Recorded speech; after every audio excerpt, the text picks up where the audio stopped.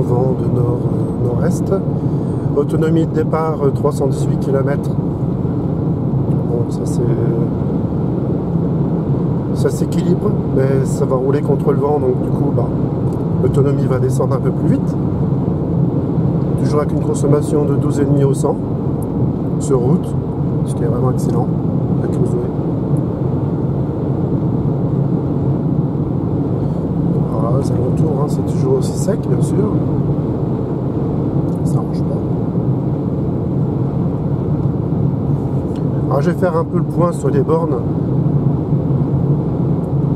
Toujours, hein, en parler pour euh, vous renseigner, aussi vous informer pour les nouveaux conducteurs, nouvelles euh, conductrices, c'est normal, vous êtes de plus en plus nombreuses et nombreux. À savoir que les bornes type 2 sont excellentes pour la Zoé. Bien entendu. Euh, l'endroit où je vais, euh, par le Duc, ça fait partie de, la Meuse. Et je dis, je répète, ce sont des départements vraiment où ils ont tout compris. Dans le sens où les bornes sont déjà sont gratuites. Pour le moment, c'est comme ça. Le réseau, c'est Foclum 55, compatible avec euh, ChargeMap, bien entendu. C'est-à-dire, quand euh, vous branchez votre voiture, vous sortez votre câble type 2. Hein, c'est le câble type 2 qui est. Même avec les nouvelles Zoé, hein, euh, la Zoé 50, n'hésitez pas à prendre le câble type 2, même s'il a 250 euros. Ah bah, il faut le prendre, hein, parce que la Zoé, c'est la seule voiture optimisée pour ce type de borne, justement. Alors, risque qu'à l'époque, en 2012-2013, Déjà, il n'y avait pas, quasiment pas de type 2, il y avait du type 3, parce que c'était Renault qui l'avait conçu. Et ensuite, c'est passé en type 2 au niveau européen. Et maintenant, c'est CCS Combo et type 2. Et la Zoé reste toujours la seule à exploiter ce type 2. La vitesse de recharge, eh ben, c'est suffisant. On est quasiment euh, sur 22 kg. Quand les températures sont bonnes, on est à, autour de 20 à 21 kg en recharge. Toujours est-il que les bornes CCS maintenant s'implantent bah, difficilement parce que c'est une question de volonté, une question de finance aussi, bien entendu, et savoir où les mettre. Ah ben là, c'est aussi un. Euh, j'ai l'impression que les communes ont besoin de soutien. Elles ont besoin d'être conseillées. Même à, haut, niveau, dans les échelons plus élevés, dans les régions. Vous voyez, tiens, tiens, je fais une parenthèse. Le hangar que vous voyez là-bas est couvert de panneaux solaires. Ça fait que l'agriculteur est aussi producteur d'énergie.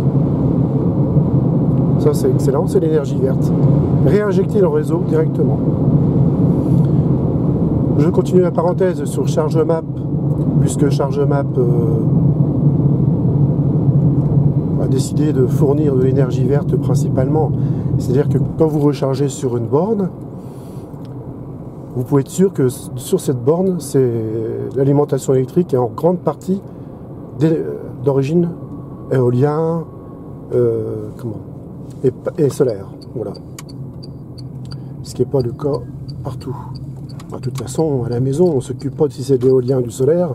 Ce qu'on demande, c'est l'électricité. Pour la voiture électrique, c'est le même principe. c'est un, un, plus que ce soit d'origine verte, parce qu'on sait que c'est non polluant et c'est renouvelable indéfiniment.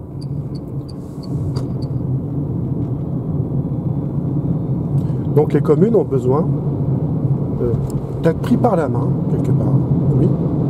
C'est-à-dire que hum, investir dans une borne, bon, ils ont des aides, hein. il y a l'ADEME qui est là. L'ADEME, ça, ça permet justement le financement de ces bornes, une participation pour aider les communes, villes et autres à implanter euh, ces bornes. Il y a des bornes qui sont implantées, qui ont demandé de l'argent, des efforts sur la voirie et autres, et qui ne sont pas utilisés. Et pour la plupart ne seront pas plus utilisés, même s'il y a un million de voitures électriques. On y approche d'ailleurs, un million. Donc, euh, non, c'était bien le balbutiement du début en disant oui, il nous faut des bornes partout, il faut des bornes partout. Mais ce qu'il faut, ce sont des bornes à proximité du domicile. Une alimentation électrique domestique qui permet de recharger à domicile. C'est ça que. C'est ça que l'on veut. Quand on a une maison, c'est facile, hein, bien sûr. En appartement, ça doit être aussi facile qu'en maison. Il faut savoir aussi que dans les communes, bon, elles, ont besoin d'être conseillées, mais elles ont aussi besoin d'avoir d'expérience dans le domaine de l'électrique. C'est-à-dire que ceux qui gèrent les communes, les villes, donc les petits villages et autres, quand ils peuvent, et je dirais pas qu'ils doivent, c'est pas une obligation, hein, bon, faut pas exagérer, mais ils devraient montrer l'exemple, s'équiper d'un véhicule électrique à titre, personnel et pourquoi pas professionnel. Alors ici j'ai déjà filmé, hein. on est à Brienne-le-Château, le fameux coq gaulois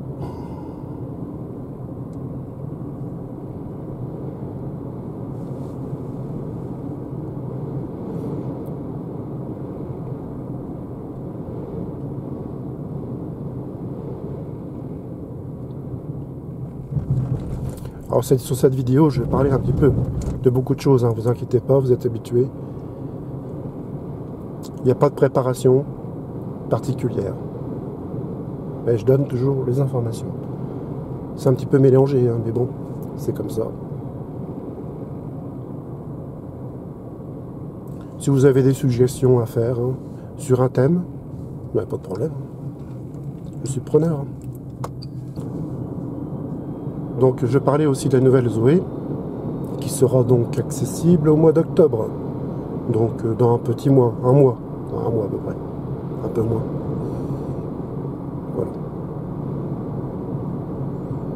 Voilà. La nouvelle Zoé euh, ne sera pas proposée tout de suite avec le régulateur de vitesse adaptatif. Euh, c'est dommage. Alors c'est prévu, hein, puisque le système est conçu avec le radar devant la voiture, le nez de la voiture, il y a un radar LIDAR, c'est un rayon laser. Hein. C'est pas fait pour perforer la voiture qui est en face. Hein. Non, non, non, non, non. C'est fait pour détecter euh, ce qu'il y a en face. Ça balaye à une vitesse incroyable, hein, c'est rayon laser, donc euh, ça va très vite. De jour comme de nuit.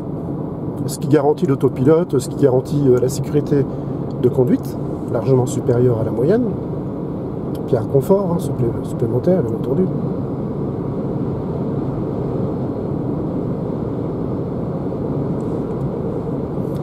Voilà, régulateur, c'est bon. Donc le régulateur adaptatif sera proposé normalement, à ce qui a été dit, à la fin de l'année. Alors, est-ce que c'est un rajout logiciel? Ça, c'est à vous. Vous. Renseignez-vous. Hein. Si vous êtes vraiment tenté par cette voiture, il n'y a pas de raison, parce que de toute façon, euh, c'est l'unique à pouvoir euh, utiliser les bandes type 2 aussi facilement. Ah, ça glisse. Il faut savoir les batteries maintenant, si elles sont climatisées ou pas. Ah, bonne question. Et ça, c'est un sacré argument de vente. Si on vous garantit une autonomie équivalente ou quasi équivalente, l'hiver comme l'été, ah bah c'est très bien. Bon, il euh, faut relativiser quand même parce que les batteries sont devenues vraiment grosses. 52 kg, c'est quand même pas rien. Et euh, l'hiver, vous pouvez compter quasiment, euh, je dirais, sur 360, 300, 260, 270 km, malgré tout, sur une Zoé, Zoé 50. Hein. Si les températures montent à 8 degrés, à partir de 8 degrés, l'autonomie augmente fortement. Hein. Ah oui, c'est spectaculaire. Hein. Ah, c'est chouette à l'ombre là.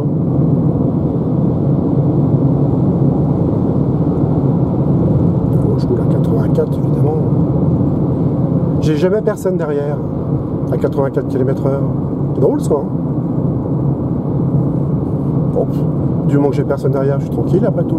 Je suis bien, je suis content.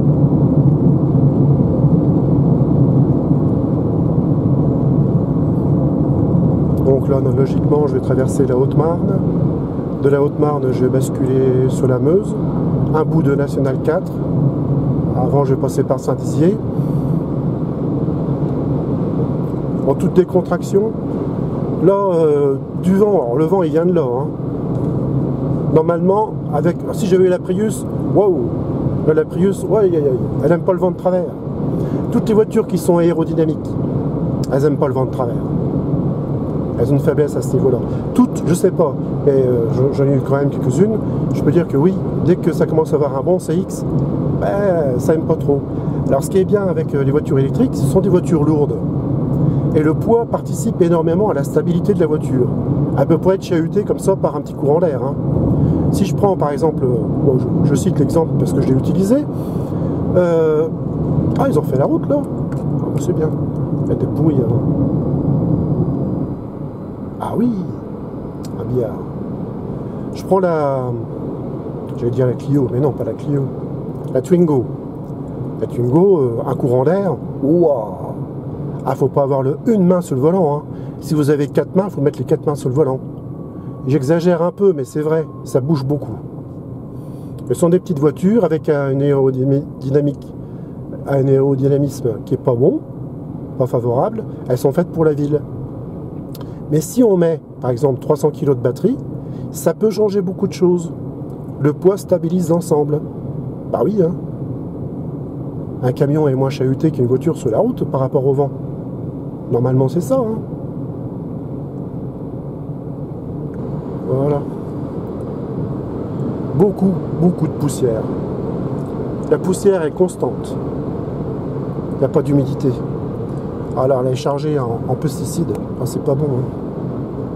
Hein. On passe par-dessus la centrale nucléaire, donc euh, a des parasites, c'est normal. Non, je plaisante, vous inquiétez pas.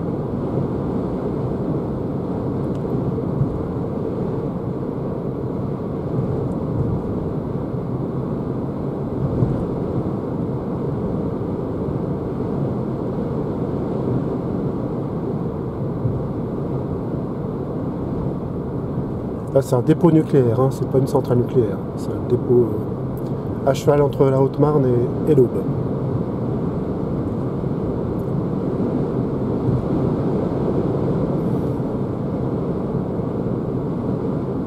Voilà, on arrive à la Haute-Marne, oui, c'est juste à côté.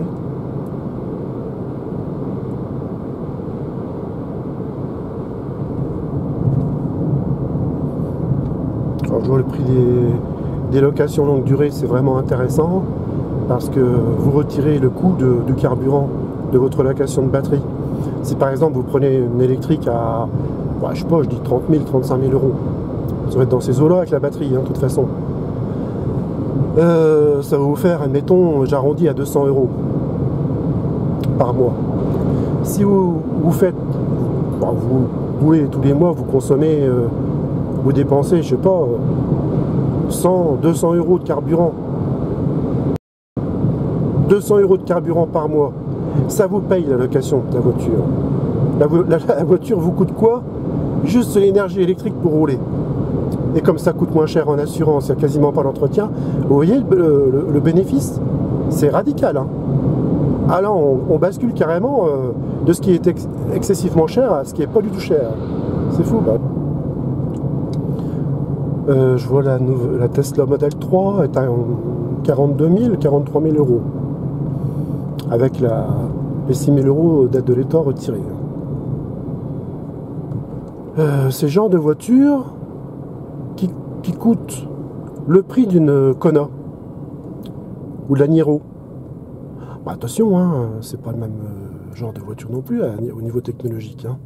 Et là, vous avez toutes les bandes Tesla. Vous voyez, ce genre de, on va dire 350 euros par mois.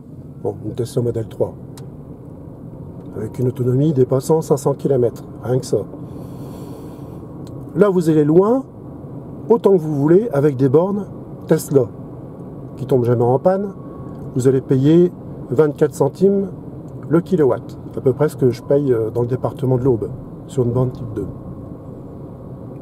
Bah, ça, vous fait... Bah, ça se calcule. Si vous consommez, admettons, 10 kW au 100 km ah, ça vous coûte 2,40€. Voilà. C'est un peu comme les litres, sauf que là, c'est en kilowatts. Mais si c'est à la maison, c'est 15 centimes, et même moins.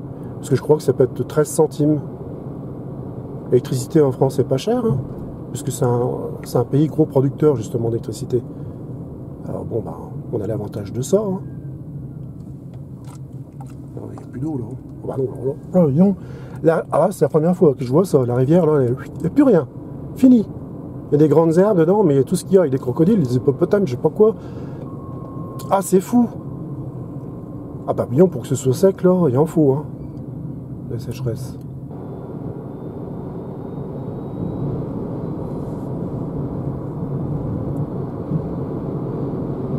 Donc je ferai des coupures euh, au montage, bien entendu. C'est une vidéo qui va être longue, donc euh, comme d'habitude, je vais faire plusieurs parties. Alors, elle est, bizarre cette portion de route. Ça fait des espèces de caniveaux en travers. Todong, todong, serait dans un train. Ah, je vais faire une anecdote sur la. Ah c'est énervant ça. Hein. Sur la Prius 2. La Prius 2 que je connais bien. Il faut savoir que sur les hybrides, tout modèle confondu, euh, les hybrides sont optimisés pour, avoir la, pour rouler avec une batterie chargée. Voilà. C'est-à-dire que quand vous roulez en ville, où là il y a un ralentissement, un embouteillage, que ça dure un certain temps, vous avez témoin la jauge de batterie qui baisse. À tel point que le moteur thermique se met en route pour recharger la batterie. ça m'est arrivé combien de fois ça? Souvent. Et le problème qu'il y a, c'est que quand vous accélérez, vous avez atteint euh, la sortie d'un village, une commune, vous accélérez, vous avez roulé sur la batterie. La batterie est déchargée. Quand vous accélérez, la puissance du moteur est utilisée pour recharger en grande partie la batterie. La batterie n'alimente quasiment plus le moteur électrique. Et là, il y a une grosse déperdition de carburant. Parce qu'il faut recharger la batterie. Ça, c'est l'inconvénient des hybrides. Vous pouvez voir la, consommation qui fluctue sans arrêt à cause de ça.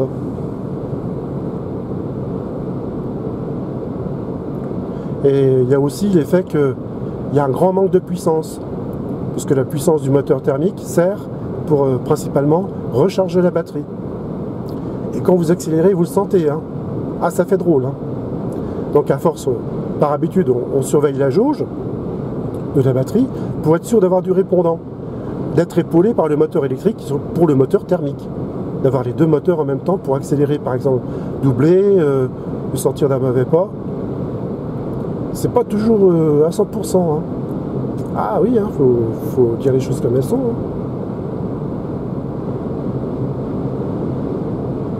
Alors ça fait des voitures bruyantes, sûr, comme un thermique classique. Hein. Ça reste un moteur thermique, donc c'est bruyant.